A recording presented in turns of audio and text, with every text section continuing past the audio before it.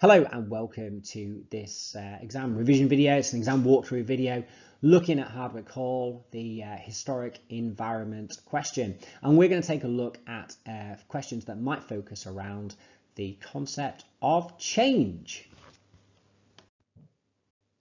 Okay, so when you think about key concepts around the 16 mark question for Hardwick Hall, you're going to be looking at causation, change, uh, continuity and consequence. Uh, and they're really the main concepts to be aware of and really have in your mind in terms of your revision. Okay, so the example question that we're going to look at today would be a change continuity focus. I don't think you're going to really get a question just about continuity. It's really going to very much focus on change because Elizabethan manor houses are like a change from what came before.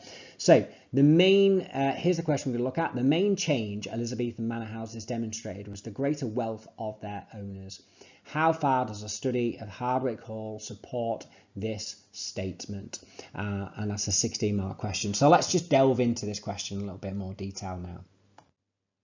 Okay, so when you're doing this question, um, you need to make sure that you're including relevant knowledge, well-selected evidence, key facts, avoid just describing details that you can remember about um, Hardwick Hall. You need to include that key knowledge of the site as evidence to put forward a point of view. You need to analyse the importance of the factors and explain it really well. And then perhaps at the end, link the factors together and compare their importance within the essay. And then you're going to be judging what is the most important factor. And it's very important that you do judge which is the most important factor. So try and think about your planning in terms of like a triangle. They actually give you the first factor to look at. So that is the greater wealth of the owners. Um, so you're going to write about that as your first paragraph. Second paragraph, you need a disagree paragraph. So I would suggest you could maybe look at the fashions of the time, and that's a big change.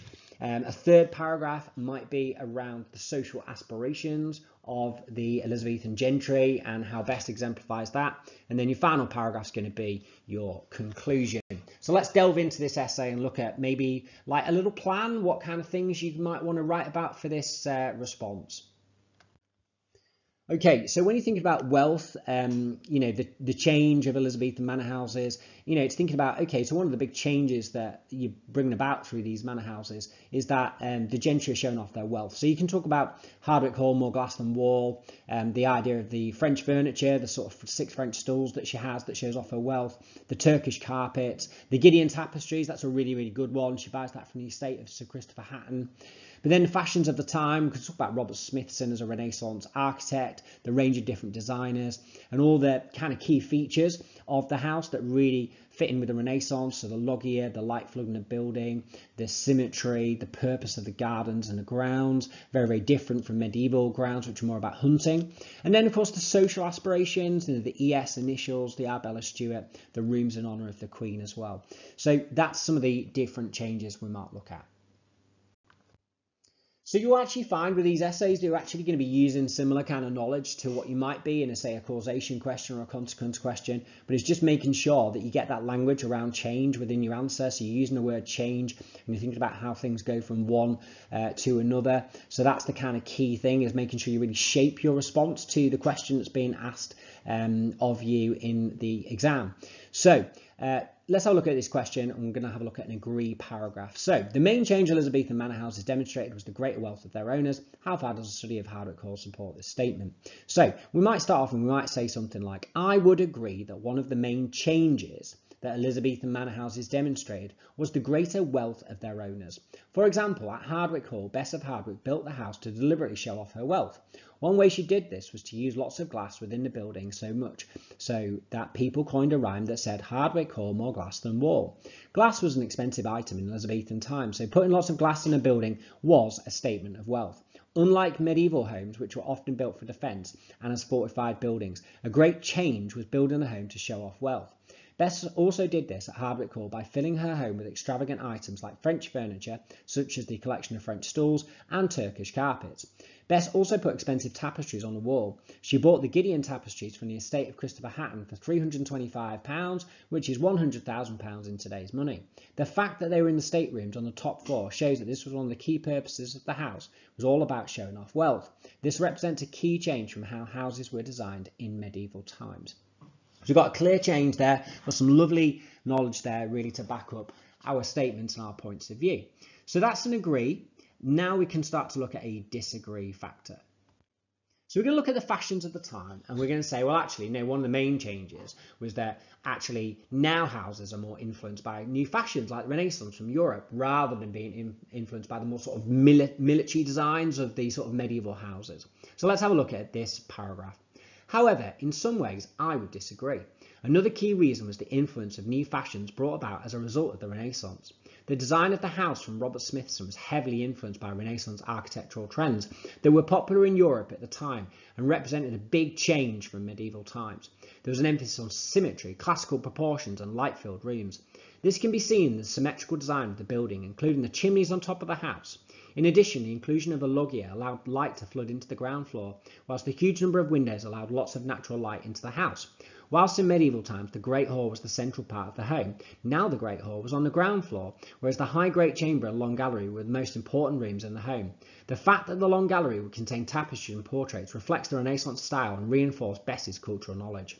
Similarly, the extensive symmetrical and elaborate gardens also reflected Renaissance style, whereas medieval grounds were mainly set for hunting. Therefore, a key change Hardwick Hall demonstrates is the influence of the Renaissance on Elizabethan manor houses. So a really, really good focus there on the Renaissance and really picking out those key Renaissance features. There's lots of different things you can think about there, um, but really that that change, you know, the idea that there's a real change, isn't there, in, in the Great Hall in uh, Elizabethan houses, whereas like in a medieval house, the Great Hall is is sort of like a, a, more important room, whereas in the Elizabethan Manor House of Hardwick Hall, the Great Hall is that kind of entrance area um, where all the sort of service rooms are linked off it, for example. But the most important room is like that high great chamber on the top floor where they would entertain, uh, you know, the most important guests. Okay, so let's have a look at another disagree paragraph. This is about the social aspirations of the owner. So about the fact that houses are really being built in Elizabethan times to really focus on those social aspirations. And maybe those, you know, social aspirations of people like Bess who are climbing up the social ladder, up the great chain of being. You don't really see that as much with the purpose of medieval uh, homes for sure. So let's have a look at this paragraph. In addition, another key change that Hardwick Hall reflects is the changing social aspirations of Elizabethan society. Building a manor house was not just about showing off wealth, but also about demonstrating social aspirations in society. Whereas a medieval home might have been to show off military might and power, the Elizabethan manor house could show somebody's upward mobility up the great chain of being.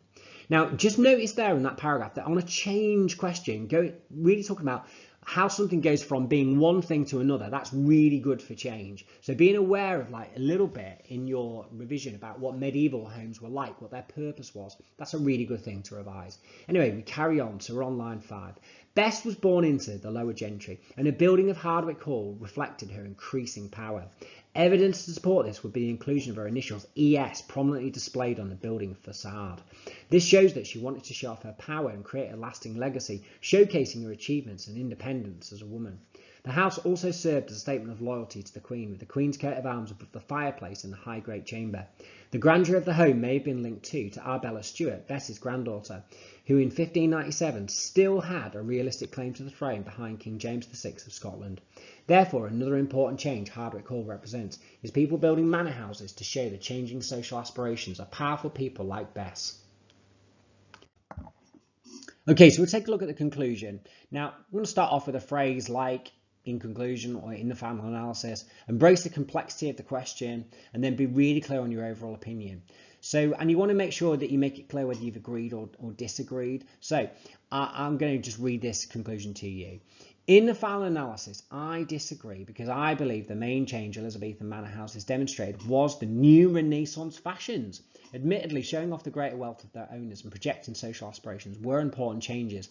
However, it was the new Renaissance fashions that really influenced Elizabethan manor houses and made them so different from medieval homes. The fact that Hardwick Hall represents so many of these Renaissance fashions, such as the loggia, the gardens, the rooms flooded with light and the glass, suggests the Renaissance fashions are the defining features of the house. Therefore, it's apparent the main change Elizabethan manor houses demonstrated was, in fact, the influence of Renaissance fashions. Okay, so thanks very much for listening to that revision video and good luck with the exams. Bye bye.